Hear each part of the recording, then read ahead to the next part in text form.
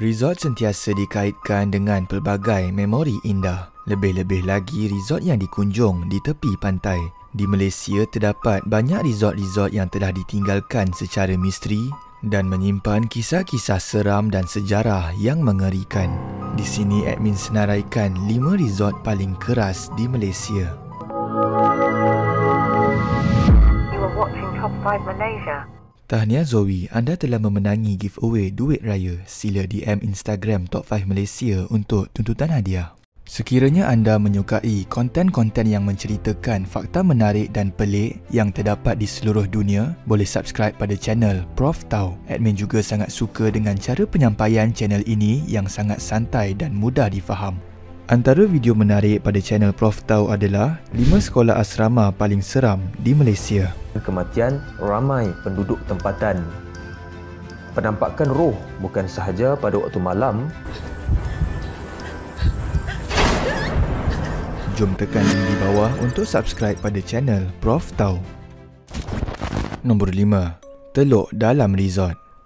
Teluk dalam resort terletak di Pulau Pangkor Perak telah mula beroperasi sekitar tahun 1990-an dan resort ini telah dibina berkonsepkan kampung. Chalet-chalet di sini dikelilingi padang dan taman bunga yang luas dan rata-rata pengunjung yang pernah menetap sering memuji keindahan resort ini dan memang pernah menjadi tarikan pelancong yang ramai. Namun sekian lama ia menjadi semakin suram dan kehilangan pengunjung. Kemudian resort ini telah ditinggalkan lebih dari 10 tahun kerana mengalami kerugian. Chalet-chalet yang pernah menjadi tempat penginapan bagi pengunjung di resort ini mempunyai nama mereka tersendiri seperti Melati, Tanjung dan Cempaka. Mereka juga mempunyai kisah-kisah misteri yang pernah diceritakan oleh penduduk kampung yang tinggal berhampiran. Menurut penduduk kampung, sesiapa yang melalui kawasan resort ini pada waktu malam akan terhidu bau bunga-bungaan dari chalet-chalet tersebut. Walaupun kini sudah menjadi resort tinggal, namun bau bunga yang datang dari Melati, Tanjung dan Cempaka masih lekat di situ.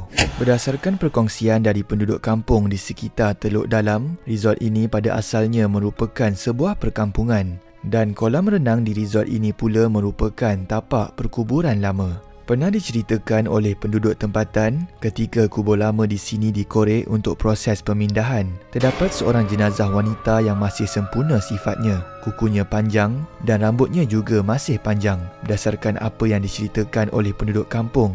Ketika wanita tersebut masih hidup, dia telah banyak mengaji Al-Quran. Selain daripada itu, Teluk Dalam Resort Pulau Pangkor ini pernah menjadi lokasi penggambaran bagi filem Senario Beach Boy yang dibintangi oleh kumpulan senario iaitu Maria Farida, Marsha Milan, Mek Saida dan Allahyarham Datuk Jamali Jamlus. Kuat tarik! Satu tarik! Kepala tu pusing! Pusing kepala tu! Celup ke dalam! Sedut! Buang! Celup Salah! Ini kolam kanak-kanak.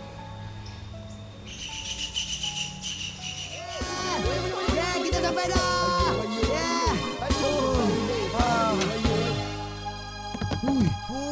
Besarnya rumah dia.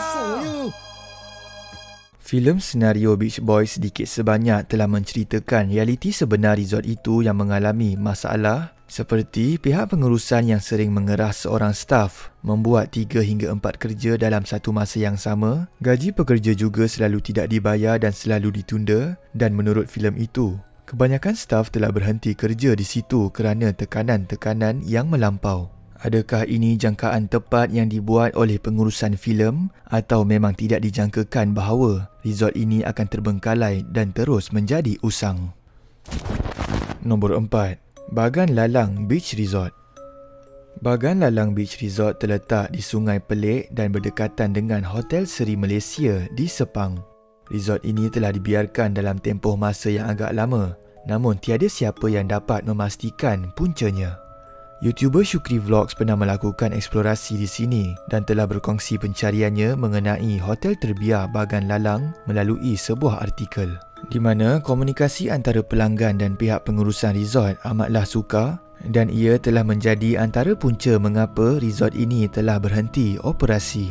Seorang pengunjung yang menetap di Hotel Bagan Lalang pernah berkongsi pengalaman seramnya pada blog fiction Shasha ketika dia berada di surau hotel tersebut. Berdasarkan apa yang dicerita, surau hotel ini terdiri dari empat biji kontena yang dicantumkan. Lantainya diletakkan papan dan karpet dan dindingnya kekal berlekuk-lekuk. Cuma ditebuk buat tingkap cermin di beberapa sisi. Ketika dia baru mula ingin membacakan Al-Fatihah, tiba-tiba datang ketukan bertalu-talu dari arah pintu surau. Dia berhenti sejenak dan menunggu untuk sesiapa masuk. Namun tiada sesiapa yang memasuki pintu tersebut. Baru sahaja dia ingin menyambung bacaannya, sekali lagi ketukan bunyi seperti tadi kedengaran dari arah pintu surau. Berasa aneh, dia pun pergi membuka pintu itu namun mendapati bahawa tiada sesiapa pun di luar. Sebaik sahaja dia membaca ayat suci Al-Quran, tiba-tiba lantai di dalam surau berbunyi berkeriut-riut. Seolah-olah ada bebanan berat yang berjalan menuju ke arahnya. Di luar dinding kontena surau pula, kedengaran seperti ada orang memegang sebatang kayu atau besi dan berjalan mengelilingi surau sambil kayu tersebut diseret pada dinding kontena. Walaupun terasa sangat seram pada ketika itu, dia tetap meneruskan mengaji. Sebaik sahaja mengaji, bunyi-bunyi tadi berhenti sekelip mata. Nombor 3. Desa Lagoon Resort, Port Dickson. Filem Aku Terima Nikahnya yang dibintangi oleh Nora Danish dan Adi Putra telah menjalankan penggambaran di salah sebuah resort yang cantik iaitu di Desa Lagoon Resort yang terletak di Taman Orchid Port Dickson.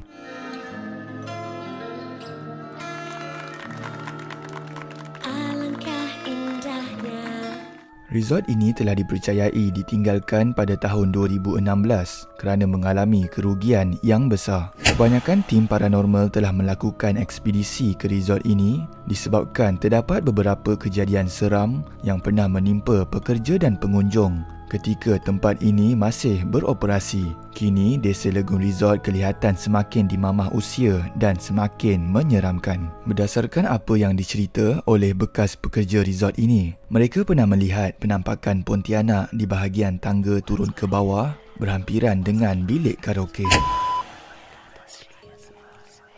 Selain itu, ada juga kejadian seram yang pernah dialami oleh kumpulan paranormal yang berkunjung ke resort ini dan terdapat rakaman di YouTube oleh Faiz Hashim Vlog di mana terdapat laci yang tiba-tiba muncul seperti terdapat makhluk yang marah disebabkan kehadiran mereka. Ingat? Aha, ini memang real. Tak, benda ni mana datang ni? No, no, no, no, no. Apa kat toilet? Selain itu, terdapat juga kejadian cemas yang berlaku pada Shukri Vlogs waktu dia melakukan eksplorasi di resort ini di mana dia telah perasan bahawa ada dua orang sama ada orang India atau Bangla yang telah berlari di resort ini dan dia juga perasan orang tidak berpakaian di situ dan dipercayai mereka ini adalah golongan matpet atau penagih dadah. Dan ternampak ada dua orang yang berlari pada resort tu. Dia keluar secara perlahan-lahan ya. pergi ke sana. Nombor 2. Naughty World Resort Naughty World Resort atau Resort World Teluk Batik yang terletak di Teluk Batik Lumut Perak telah ditinggalkan dengan keadaan misteri dan ia juga telah terbengkalai bersama sebuah taman tema air yang pernah menjadi tarikan ramai. Kebanyakan ahli paranormal yang melakukan ekspedisi di sini rata-rata tidak mengetahui sejarah dan kisah benar mengenai kawasan ini kerana memang susah untuk mendapatkan info mengenainya di internet.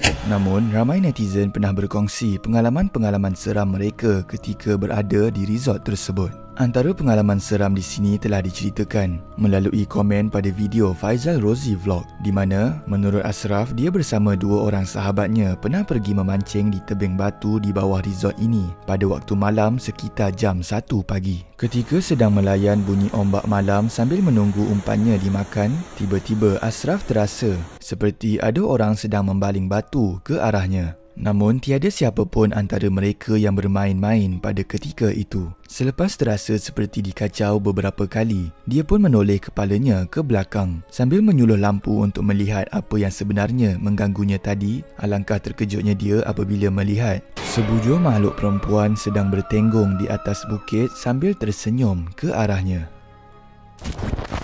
Nombor 1. Resort Bukit Air Perlis Resort Bukit Air Perlis telah lama ditinggalkan dan kini merupakan salah satu lokasi ekspedisi bagi ahli paranormal. Resort ini mempunyai beberapa chalet dan pernah menjadi lokasi penginapan bagi kebanyakan orang yang berkunjung ke Perlis. Berdasarkan apa yang diberitahu oleh penduduk tempatan, salah satu chalet di sini juga pernah menjadi kediaman tetap bagi mantan Perdana Menteri. Dia setiap kali kalau dia datang Dia seminat di sini Pada ketika itulah Ada dia. Oh. Waktu tu dia tengah berkhidmat lagi kot. Chalet-chalet di sini rata-rata mempunyai keunikan dan kisah seram mereka yang tersendiri. Antaranya, terdapat sebuah chalet yang dinamakan Rumah Al-Quran kerana di dalam chalet ini terdapat senaskah Al-Quran yang masih dalam keadaan baik walaupun chalet tersebut memang sudah lama tidak dimasuki orang. Antara chalet yang menjadi tumpuan para explorer ialah Chalet Bumbung Merah yang merupakan tapak penggambaran filem congkak yang telah ditayangkan pada tahun 2008.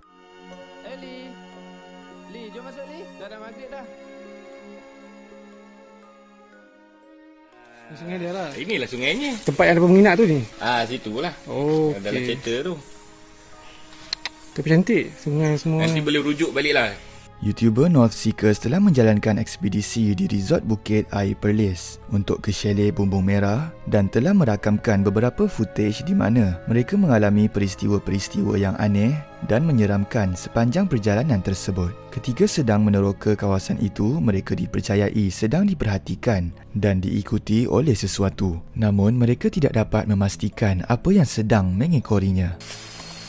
So. Ini adalah bahagia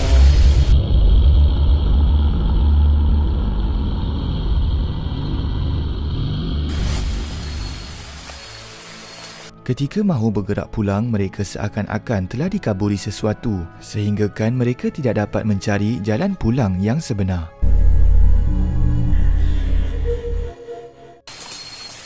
Ini Syah weh. Kita sini ya? Bukan sini tadi. Kita dulu bawah ni dulu kan. Kita nak belah sana kan. Tahu Kau sini. Sini sini Kita sini kan? Sampai jumpa jalan batu Sini ya? Atas, atas kita. Atas, atas kanan ni ni. Depan tu Depan, kita depan, weh. kanan. Selepas membaca ayat-ayat pelindung, mereka akhirnya berjaya untuk keluar dari kawasan tersebut. Itu sahaja video pada hari ini. Jom komen antara kelima-lima resort yang admin senaraikan yang manakah paling seram dan komen juga pengalaman seram anda ketika di resort. Komen terbaik akan admin pilih sebagai pemenang giveaway duit. Sekiranya anda menyukai konten-konten yang menceritakan fakta menarik dan pelik yang terdapat di seluruh dunia, boleh subscribe pada channel Prof Tau. Admin juga sangat suka dengan cara penyampaian channel ini yang sangat santai dan mudah difaham. Antara video menarik pada channel Prof Tau adalah 5 sekolah asrama paling seram di Malaysia. Kematian ramai penduduk tempatan. Penampakan roh bukan sahaja pada waktu malam Jom tekan link di bawah untuk subscribe pada channel Prof Tau.